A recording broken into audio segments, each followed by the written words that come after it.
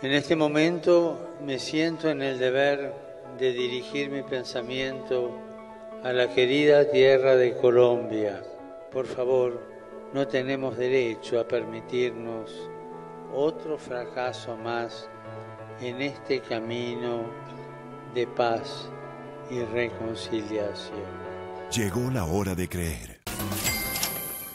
Para evitar un posible desabastecimiento de energía en algunas ciudades del país, existe una alternativa a importar energía térmica de Ecuador propuesta por Luis Camargo, gerente de la empresa Exem. Es posible importar del orden de 50 megavatios hasta 200 megavatios en caso de ser necesario. Por otra parte, la directora de la Cámara Colombo-Ecuatoriana de Industria y Comercio aseguró que Ecuador está desarrollando la construcción de ocho hidroeléctricas que empezará su funcionamiento en el 2016. En este momento no es viable importar energía en Ecuador a futuros años probablemente Ecuador pueda venderle energía a Colombia, pero en este momento no hay esa posibilidad, por lo menos para eh, apaciguar eh, lo que este fenómeno del niño. La directora de la Cámara aseguró que el fenómeno del niño en Ecuador es más fuerte del que se está presentando en Colombia.